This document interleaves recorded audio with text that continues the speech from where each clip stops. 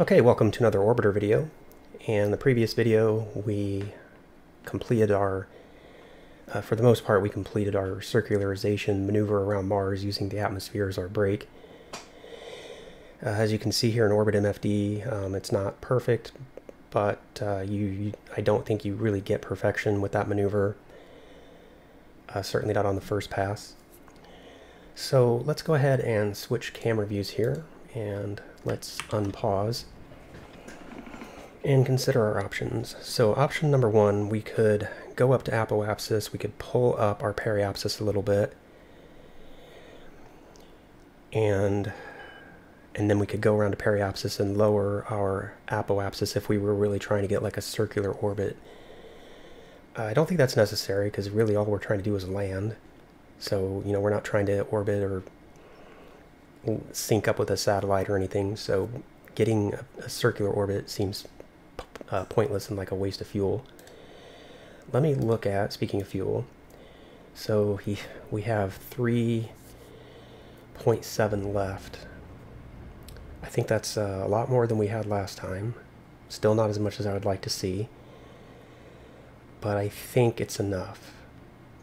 Because if we need to if we need to bleed off like a um, like 1000 meters per second using the retro engines that would still leave us with like 2700 for hover. And I think uh, I think we can do it. Um, I just currently though I need to figure out what I want to do with my uh, with my orbit. Do we want to go around again and try to lower our apoapsis a little bit? Maybe let's look at our oxygen all right so we still have 12 days so that's not a concern so would it be worth trying to do another maneuver through the atmosphere? Um, all right, before we make that decision, let's look at map. Actually, base sync's what I want. And currently, so four orbits from now, based on our current orbit, which is not sustainable, we would have a, a passage of uh, 387 kilometers, and I'm certain we have that cross range. Um, pretty sure. But ideally, we would still like to bring that down. So I think we're going to go ahead and we're going to go around one more time. I don't think I need to raise my periapsis. I think we can just enter the atmosphere heads up and the the shape of the vessel will will basically reshape our orbit. But I don't think I should risk it either. So let's go to apoapsis.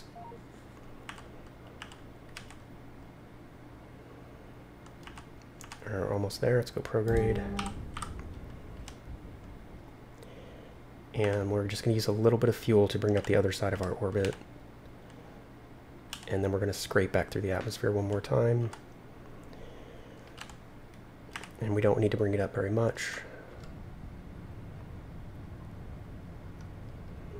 Let's just go for, I'm going to say that's fine right there. I feel like that should be fine. Let me just bring it up just a bit more. There we go. Now I feel just a little more comfortable. All right, now we're going to warp time forward. We're going to dip down into the atmosphere one more time.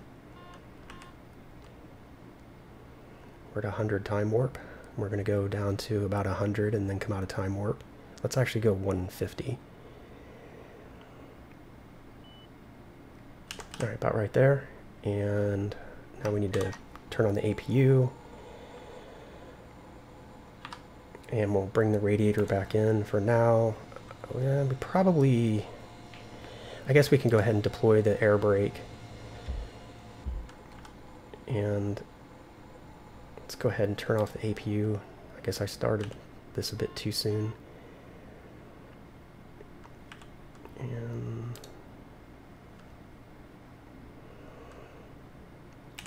let's warp time forward. And this time we're going to stay heads up relative to the planet.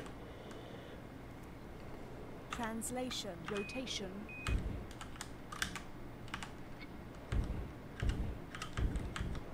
so that we can keep our vertical speed very, very well under control. And we really just want to bleed off a little bit more velocity just to help circularize the orbit a little bit more and maybe um, bring down our closest approach to the base at the same time.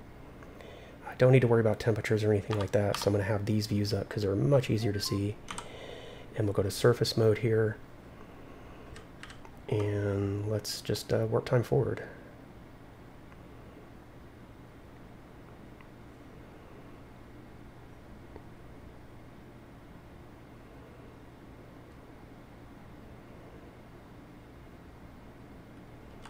Alright, see the other side of our orbit coming down. It's coming down pretty fast, actually, so let me go ahead and pitch out a little bit. Let me use some up elevator. Because again, I don't want to, you know, bring my orbit too far down. And hopefully, and I fear, I fear I did. So actually, let me bring back in the air brake, which is control B. That way we don't have as much drag. And now we'll bring down our trim. Alright, we're almost at zero on our vertical speed. So, okay, and the other thing I wanted to kind of try to look at was some kind of off-base distance. So it looks like past three, maybe. So maybe if I rotate that way, it's hard to know because I'm also losing velocity at the same time. So it's hard to know which way helps.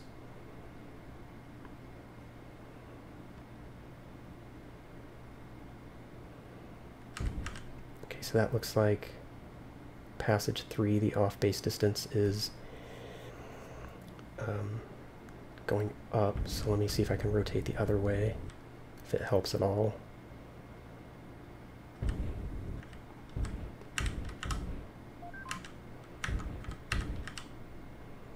Mm, doesn't really seem to be helping. That is a lot of... That's still quite a bit. What about if I cycle through... Alright, so maybe we'll have to orbit for a bit to... So... But I think this was a reasonable pass because it brought our APA down so far by, I want to say, uh, what was it before? 1.1, I think?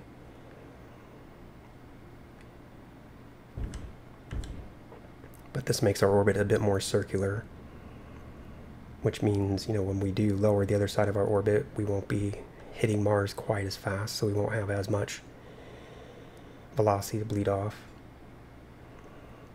I mean, if we really wanted to be really particular about it, we could do this maneuver several times, but I think you get into that situation, you know, law of diminishing returns, and we do have time to consider. We don't have unlimited LOX, but we could do this a few times if we needed to but we're not going to. This is. This is the last pass.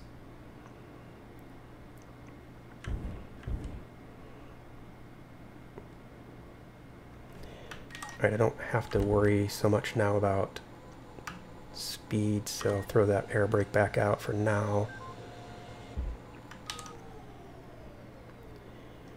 Just to bring that APA down as much as we can on this pass, and we are climbing back out, so with each passing kilometer, you know, we're getting less and less benefit out of the atmosphere. So, but if we break, like, if we get lower than 200, I'll bring the, I'll bring the air brake back in. Actually, if we get lower than 300, I'll bring the air brake back in. But I think by that point, we're going to have climbed out so much that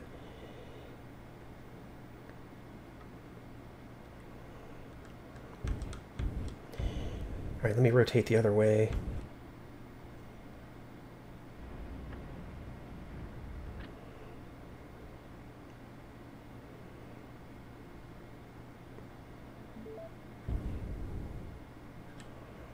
Okay, yeah, I don't think it really matters in terms of our off-base distance because we're, you know, several things are happening here. Not only are we you know, trying to steer the vessel a little bit with cross range, and we're doing that at such a high altitude that it's not helping much, but we're also slowing down a little bit. And I think that change in velocity actually is having more impact on our off-base distance than any benefit that we could possibly be getting out of steering or trying to steer. But yeah, I, I think this was a good pass. Brought down our APA quite a bit to help, you know, circularize our orbit to a better point. So yeah, I'm going to say this was definitely worth it. It was a good call. So potentially orbit 9. And that has the distance off base increasing. So I will try to ro roll around the other direction, but again, I don't think it will help. In fact, it might even make the off base distance climb even faster, but yeah, there's just, uh, all right, and I think we're basically done here for the most part because we're back up to like 58 kilometers or 67 depending. What does this one say? So this one says 59, this one says 59, this one says 69. This is why I have trust issues. I'm just kidding. All right, so, all right, control A. Bring back in the air brake and we'll deploy the radiator.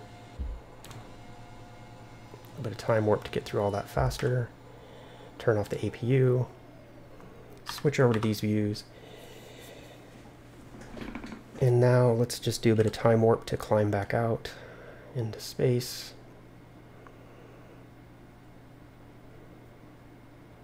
Let's get well and truly out into space. Okay, I would say now we're well and truly out into space around Mars. Alright, so let's bring up map. And we're going to be landing at night, unfortunately. Although maybe if we go around a few times, maybe the daylight terminator, day-night terminator will move over, but probably not. So we are targeting Olympus. I really don't want to land at night. I really, really, really don't want to land at night. Which way is the day-night Terminator moving? So it is going in that direction. So hopefully by the time we orbit a few more times... In fact, may, oh, I, th I think I'll just plan on that. I'll plan on like forcing it, because landing at night sucks. Um, at least since the ambient light levels aren't working, otherwise I wouldn't mind. So let me think. What am I trying to look at next? I had something in mind. Orbit, that was it.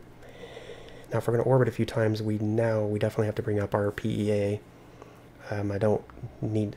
Uh, man, does that? Yeah, yeah, we need to bring up our PEA. So let's go to Apoapsis. Okay, we're getting close.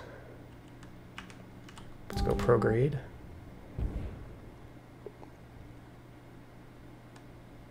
I'm not being very conservative with the autopilot fuel here. Coming up on Apoapsis.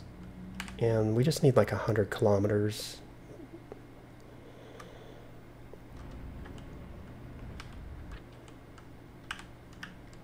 Alright, a little bit on the main engine.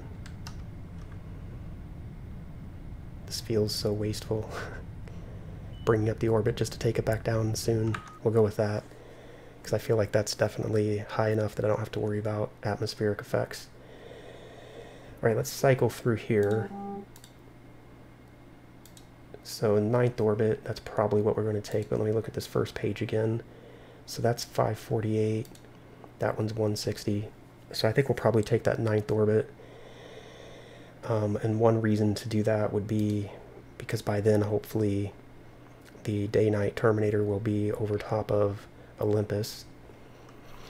So actually, let's make that our next action here. Let's warp time forward and just kind of watch.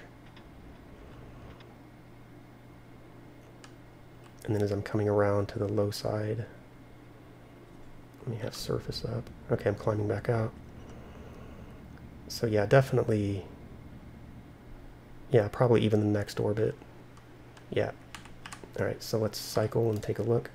So now we're saying seven orbits out, but is that, now is that too far out? Will that actually put us at night? Because we could take this orbit here, but 548 cross range does concern me a little bit. I think it should be fine, but uh, let me let's go for this orbit here. Just because the cross range is so much lower. Alright, so let's go ahead and warp time forward.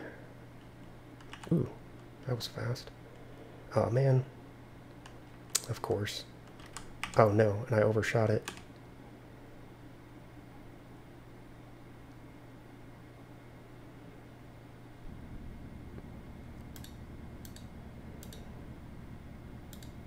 We have 181 and 13 orbits. Wait, uh, no, I didn't quite overshoot. No, this is still counting up, so I didn't overshoot. But again, I would really like to land during the day, but I don't know for sure if that orbit will be during the day. Let's check our LOX. We're at 12 days. We're fine on LOX. Let's try it. Let's try to pass. Let's try to get to this point, and hopefully that will be during the day. Because night landings with zero light in a simulator just isn't good, in my opinion.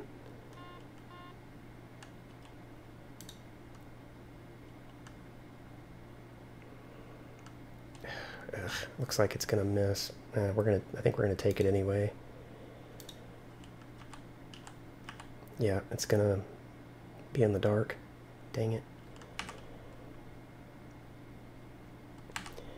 Does there happen to be another one coming up? 203.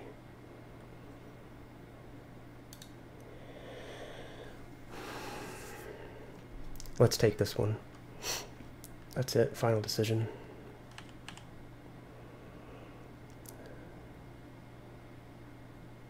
It looks like we might have some amount of light, but probably not. Alright. Yeah, probably. No, I think by the time we get there, it's going to be dark. Alright, so this number is climbing up. So we'll go... We're actually going to go about right here. So we're about a quarter of an orbit away from our deorbit maneuver. I'm going to save at this point, pause, switch to the overlay, and we'll say that's going to be good enough for this part. And when we come back, we'll start our deorbit burn and attempt our landing. Although I think the I think the complete landing will take two videos because gliding down through the atmosphere just takes quite a while. With all that said, I hope you enjoyed this part. If so, leave a comment down below, and I'll see you in the next video.